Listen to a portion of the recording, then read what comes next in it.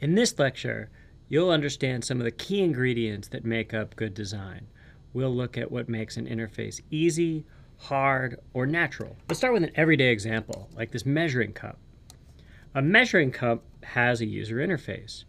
There's a task, fill a liquid to the desired amount.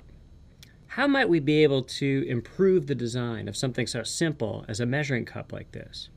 Here's an example from OXO as related by Alex Lee at the Gel 2008 conference. They got a prototype of a potentially better measuring cup, something they hadn't necessarily been thinking about. So they went out into the field, they watched people measure liquid. Found that people would pour some liquid in, get it to the level, check it out, pour some more, check it out again, pour some more, check it out again. But when they asked people about any ideas they had for making the measuring cup better, nobody mentioned the difficulty of reading the level. People might say something about the handle because users want to be nice and offer feedback. Uh, they might say it was sometimes slippery if you get some oil on there. But the measuring, nothing. Now here is what OXO came up with. This is really cool. They've got a same plastic measuring cup, and the difference is that if you'd like to be able to measure, you can just look right down from the top. And so this one, if I'm filling it from the spout, I can just look up to the right level, no problem at all. And you can see this design caught on. Here's, uh, here's one from Pyrex that has the same idea made out of glass, where you're able to look down and see directly what the units are. Nice example of thinking outside the box and the importance of getting behavioral measures from users, what they do, as opposed to just asking them and seeing what they say. These measuring cups also have a, another advantage that if you hold them right handed, you see English units, and if you hold them left handed, you see metric units. So, to summarize, these measuring cup redesign gives us a couple of important lessons. For starters, if we simply ask people what they want, we might miss important opportunities. Second, there's real value in going out into the field and gathering behavioral measures as opposed to just asking people. The third is that when you go out into the field, bring along a prototype because that'll change the interaction.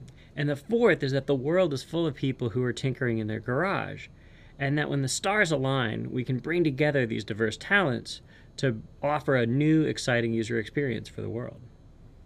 With measuring cups, like all user interfaces, there are two fundamental questions that we want to ask and I'd like to share with you a drawing that I got from my colleague Bill Verplank. Bill points out that really we've got these two main questions. The first is that when I encounter a measuring cup or a new computer software or anything else, I need to figure out what is it that I can do. Then after I do that, fill the liquid, try to print a document, retrieve something from the internet, then I need to figure out what is it that happened and so the interface is teaching me how do I know? One of the great insights of cognitive science is that if you understand what's in people's head, you can do a way better job of explaining their behavior. We're going beyond, oh, well, the user's dumb, to, well, if they did that, then they must be thinking this. I'm used to driving a normal car that you start with a key that you put in the steering column. Recently, I got a rental car, got into the driver's seat, had keys, but there was nowhere to put them. That's an example where I didn't know what I how to do. You can see that my experience taught me what I should expect, but my expectation was violated by the newfangled car experience. Similarly, once you do get the car started, how is it that you know that you achieved it? Well, you might see the RPMs on the tachometer go, you might hear the engine, some lights might come on. You're getting that feedback which informs your mental representation of what just happened.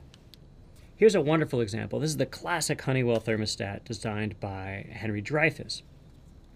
What I like about this from the perspective of our actor right here is that when I ask the how do I do question, I'd like to set the, the thermostat's temperature. It's pretty easy it's really obvious. This right on the front, there's a strong signal that there's a dial I can turn. I know that because it has these ridges. Uh, it's got an indicator here, and when I turn it, I get direct, immediate feedback. What in computer terms we now call direct manipulation. and that feedback is tied directly on top of the output. You want it 60 degrees, 70 degrees, heck, 80 degrees, no problem. For many years, thermostats moved away from this more direct manipulation approach to have buttons or other things, and that indirection, like with VCRs and other electronics, made things actually a lot harder to use. And more recently, we're seeing this directness come back into information appliances. The Nest thermostat, for example, in many ways is playing, um, paying homage to this wonderful classic Dreyfuss design. Don Norman and Jakob Nielsen give us some really useful questions as designers for being able to figure out whether the interface that we're creating will be natural and easy to use. And I'll leave these here for your own work. People obviously behave differently depending on how they think the world works. In our minds, we build these mental representations. Often, the representations in our minds are using analogies that come from experience. The Nest thermostat is like the classic Honeywell thermostat. When I'm writing a computer document, that's like using a typewriter. If I want to explain how electricity works, I might explain it by analogy to water, that the wires are pipes, where bigger pipes allow more water or electricity to be carried, that there are reservoirs or capacitors, and a lot of basic principles of electricity you can explain using the water analogy. That's not to say that everything is neat and tidy upstairs. Our mental models often aren't right. Uh, they're almost never complete. Electricity is like water in some ways and not like water in others. And they're often rife with superstitions. Computers are an amazing catalyst for superstitious behavior. We all have these superstitions, even really technologically savvy people that we know in some level aren't real, and yet because we don't have a better explanation, we use them anyway. Over time, we build more and more representations. These can dovetail together, so I can think that electricity is like water in some ways and have uh, might be like teeming crowds in another way, or I can layer on more abstract representations using equations. They coexist at the same time.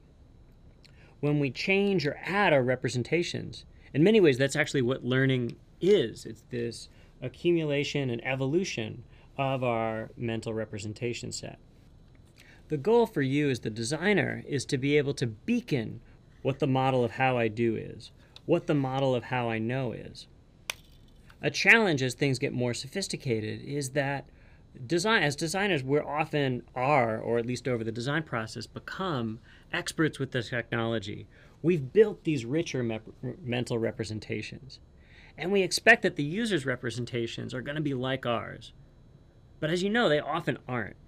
And this mismatch, when what's in my head is wrong, that mismatch can lead to slow performance, to errors, and to frustration. The goal then, as the designer, if I'm over here, is I want to be able to have a representation in my head. It's almost like you're trying to take a part of your brain and bring that into the user's head. So if our user makes a mistake, why did they do it? That's essentially the cognitive question that we're asking about user interface design. Well, using what we just learned, we can ask, did they have the right mental model? If I'm operating a keyboard, type in real fast, I mean to hit the equals key, but I hit the delete key instead. I had the right model, I just slipped.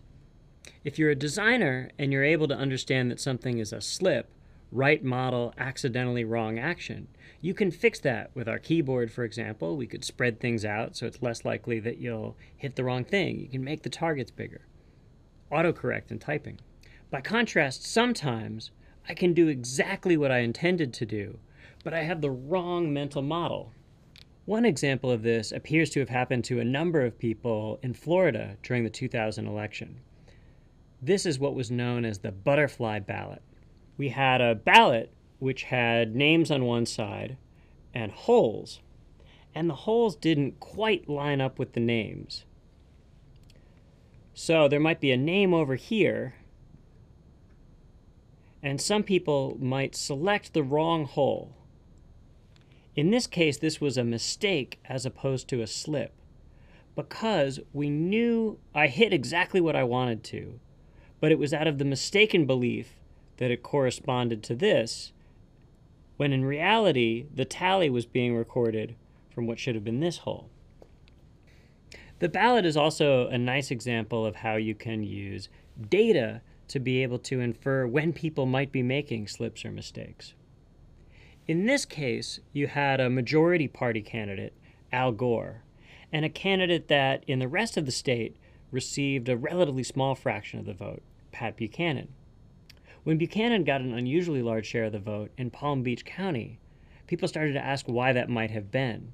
So it's a great example of how you can look into the data to be able to make a guess as to where you might look for design flaws. Here, when people looked at the user interface that voters were using, you can see that many people could easily have made an error. In this case, 0.85% voted for Buchanan, whereas for a comparison set, that number was 0.23%. So you had more than triple the number of people voting for this candidate. Here are two takeaways from the ballot. First, when designs are ambiguous for this, in this case it was for engineering reasons to have the holes line up as opposed to usability reasons of having the interface be as clear as possible. This is when you'll likely have errors. Another lesson we can learn from the butterfly ballot is that of consistency. If the voting interface changes frequently from county to county, election to election, it's harder to debug errors. Every county has to invent its own sometimes. And voters have a difficult time because they may be asked to, user, to use an interface that they haven't seen before. When people have a consistent user interface, errors are much less likely because they can benefit from learning that mental model over time.